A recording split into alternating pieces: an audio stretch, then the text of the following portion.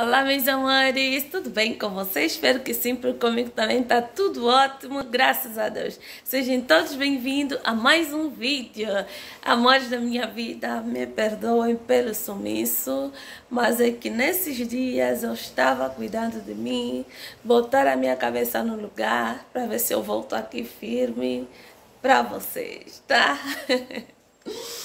Este sorriso no rosto não está sendo fácil manter ele, sabe? Mas pela graça e misericórdia de Deus, estou cá mais uma vez para trazer mais um vídeo para vocês. Neste vídeo, depois da abertura, eh, tem o meu esposo com meu sobrinho a tocarem o hino Eu Sou um Cordeirinho. Eu coloquei este vídeo de propósito eles a tocarem depois vão entender. Eu sou um cordeirinho, Jesus é o meu pastor. Sozinha no deserto, jamais eu posso andar. Sou um feliz menino nos braços do Senhor. Então, é, este vídeo tem algo que vocês vão ver e que eu mostrei para vocês, muito triste que está acontecendo conosco. Nós ganhamos a batalha. Deus deu a vitória na nossa mão daquele dinheiro roubado pelo, multi, pelo aplicativo do Multicaixa Express. Depois de um longo tempo, já há dois meses que nos foi devolvido esse dinheiro. Até tenho um vídeo. Coloquei aqui, depois tirei, porque tinha poucas visualizações. Alguma coisa eu fiz aí de errado que não receberam as notificações. Então, Nesta semana que acabou, de novo uma outra prova que nos foi roubado mais o nosso bem, que Deus preparou para nós, que é o nosso terreno. E eu fiz um vídeo explicando tudinho para vocês, né? Eu não ia esconder nada, fiz um vídeo. Tô muito chique. Falam aí. ok, tá bom. Mas é, vocês vão entender tudo nesse vídeo que eu expliquei, mostrei para vocês. Então é isso. Queria mostrar para vocês o porquê que eu estou sumindo, a desaparecida e só Deus, né? É, então, antes de assistirem o vídeo, deixe o seu like se você gostou, partilhe com seus amigos. Se não é inscrito, cai aqui de paraquedas, inscreva-se no canal. Hum? E dizem aí o que, que vocês estão achar, né? Deste tipo de de impostores, sendo pastores da igreja, sendo uma igreja, roubaram e construíram nosso terreno. E quem construiu é uma pessoa que nem tem nada a ver conosco, apenas nós pagamos ele para limpar os nossos terrenos e cuidar. Mas graças a Deus que nós temos toda a documentação em nossa posse. Apenas um documento que ainda eles não deram, porque também não é fácil, né? Estão a cobrar demais, então o povo ainda, a gente ainda não conseguiu ir lá pegar esse terreno, esse documento. Mas quase tudo nós já temos. Então acompanhe aqui o vídeo, né? E orem a Deus por nós. Não está sendo fácil. Deus abençoe a todos vocês. Beijinho. Acompanhe o Caro hino 441.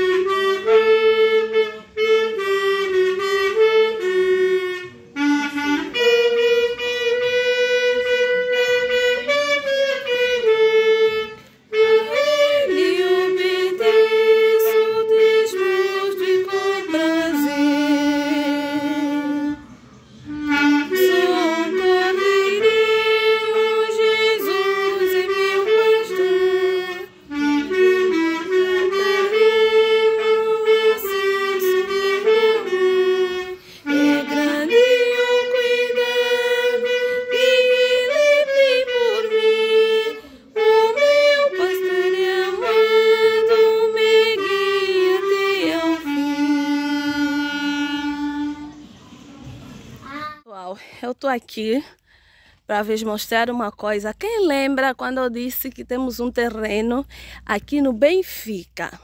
Pois é, este terreno está no Tanque Serra. Olha, infelizmente, por conta da pandemia, nós já nunca mais viemos, apenas, eu acho, uma vez só. Então, recebemos uma ligação de um dos moradores deste bairro, em que, na qual nós deixamos para é, guardar o terreno, né? Se for possível começar a limpar o terreno, essa coisa toda.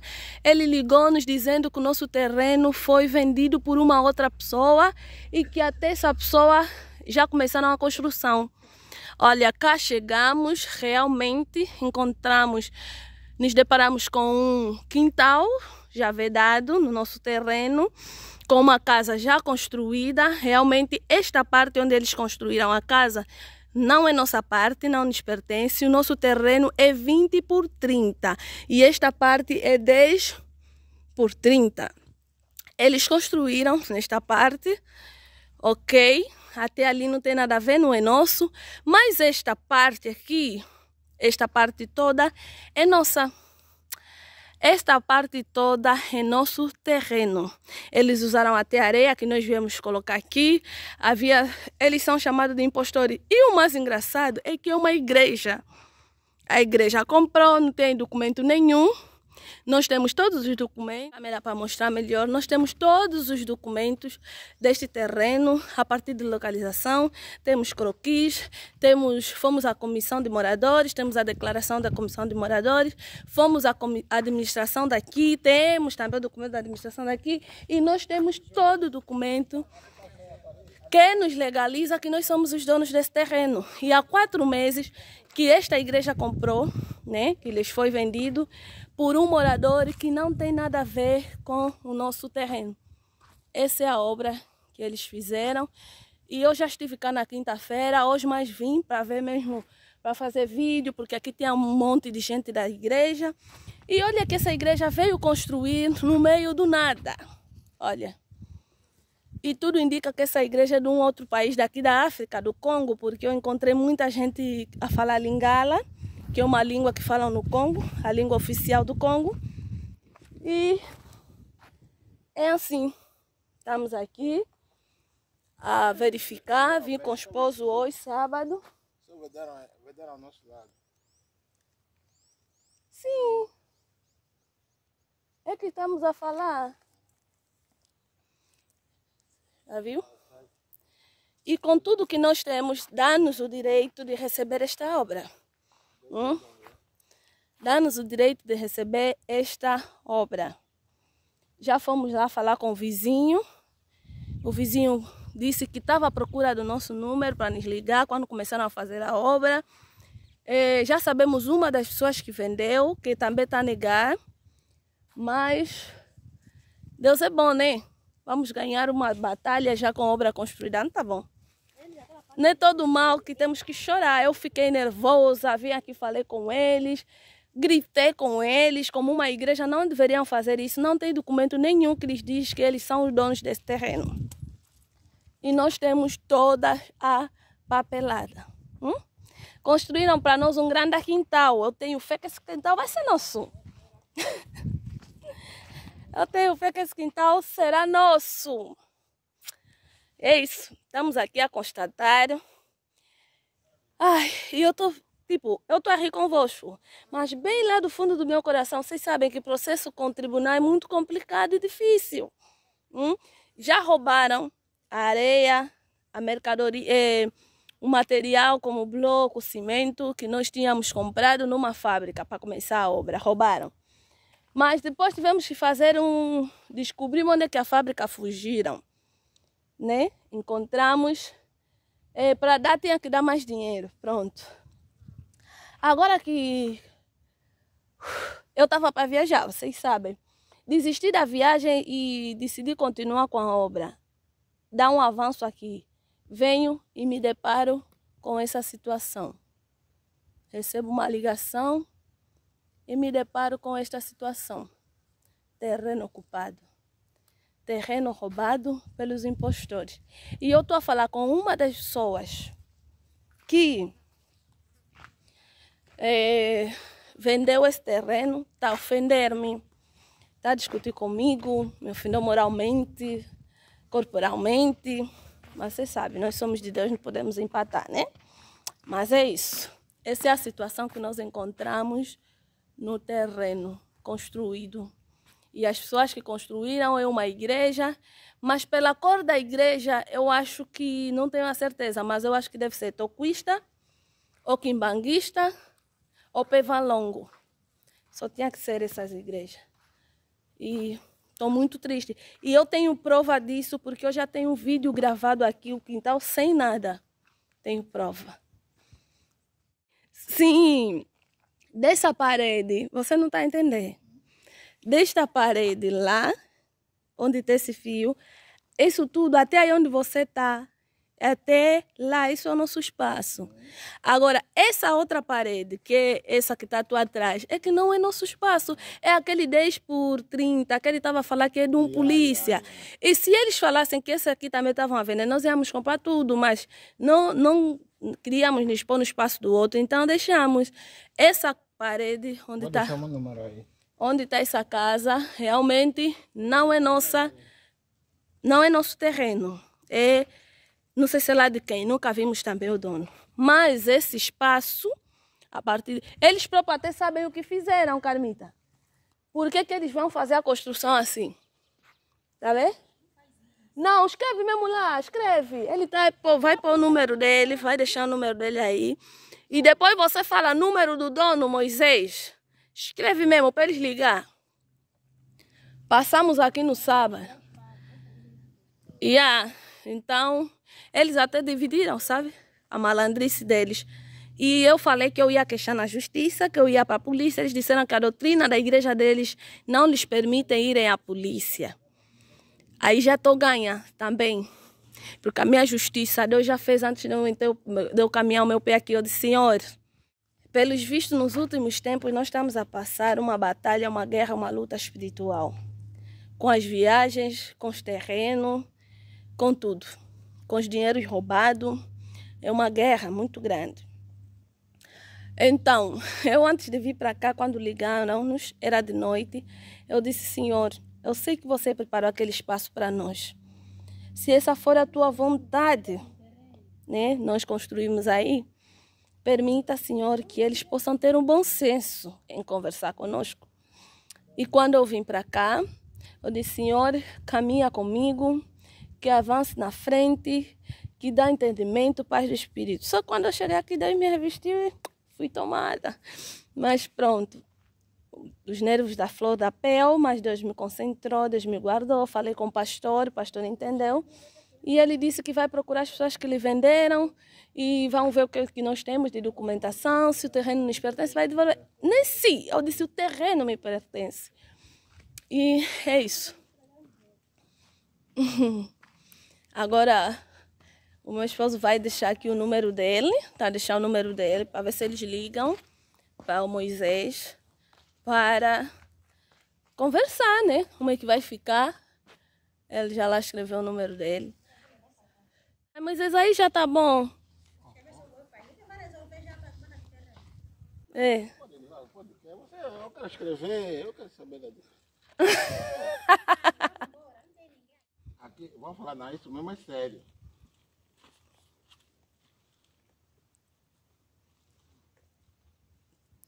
Vai escrever que Escreve mesmo, Moisés, dono do terreno, passou aqui. E até se for para um versículo bíblico.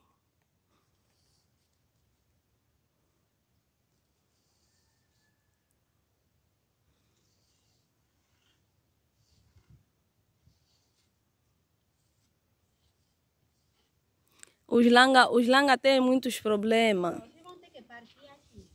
Por quê? Só fica, tem que vir de uma calça para sair bem aqui, senão tá mal. Olha, olha meus pés. aqui não é fácil.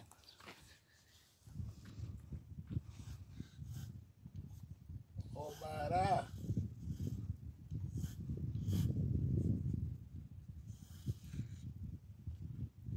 Homem.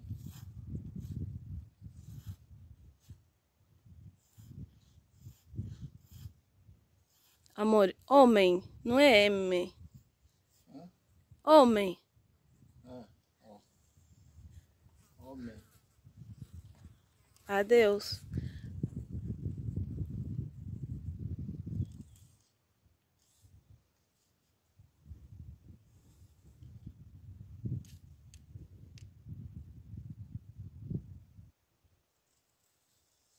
É por naquele dia corria, aqui é um bem isolado. Você não ouve nem o barulho do, do, dos, dos, dos papagaios. É como é que dizem? Dos passarinhos. Não, Moisés, chega. Chega, Moisés, para. Se quer escrever, escreve nos blocos já. Aí já não, chega. Não, mas, eu não, mas eu não te trouxe. É para você constatar a realidade. Eu não te trouxe que é para você fazer lá essas tuas coisas.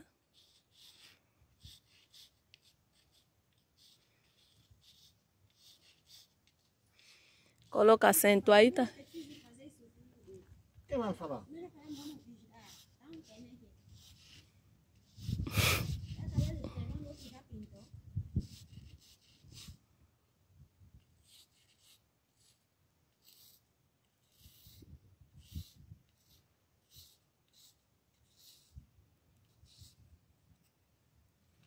Satisfeito?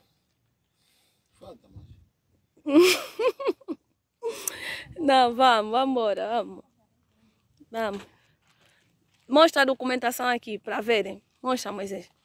Conforme nós falamos que nós temos toda a documentação, esse é o croquis de localização. E tem outros documentos também, declaração, tudo. Estamos aqui. Kina, tudo bem? Oh, esse é a vossa bebê? Bem, mulatinha. Tá doente? Sim, mas vai ser muito. A tua mãe tá onde? Tá lá em casa. Você não viu quando teu pai uh, quer vender esse terreno?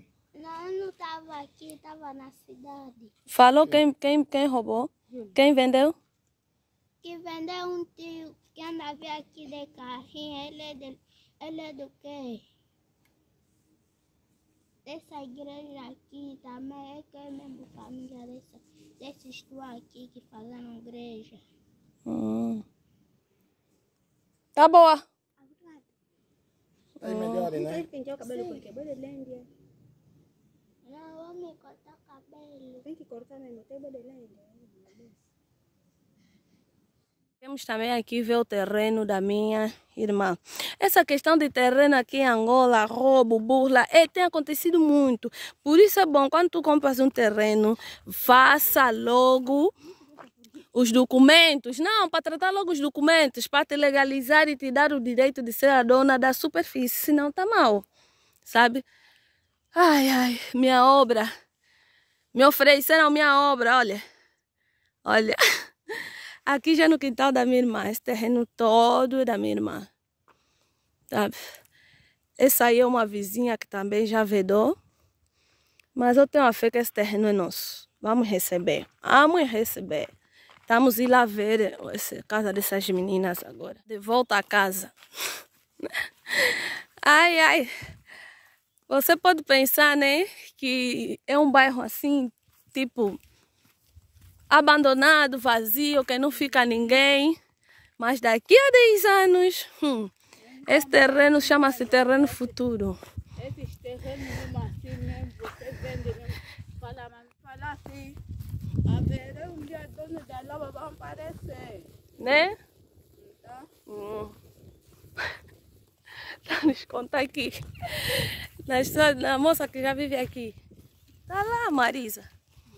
Tá nos contar sobre o terreno que tem havido, tipo, parece abandonado, mas depois vai ter um tempo que todo mundo vai aparecer dizendo que esse espaço é meu. Mas hoje ainda está abandonado. E esses assuntos aqui em Luanda acontecem muito, né Marisa? Yeah. Então, eh, não encontramos mais os mesmos, os mesmos ditos membros da igreja.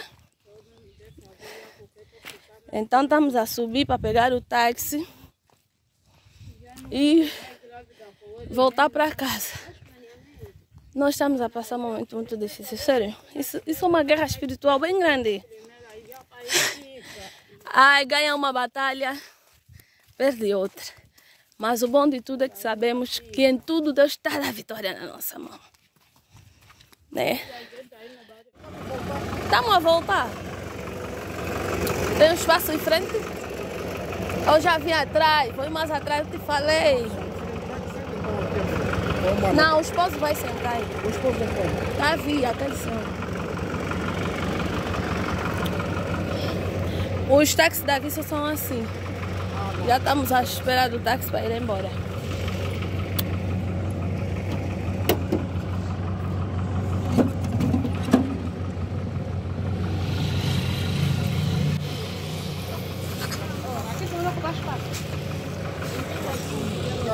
Então, pessoal, já cheguei em casa.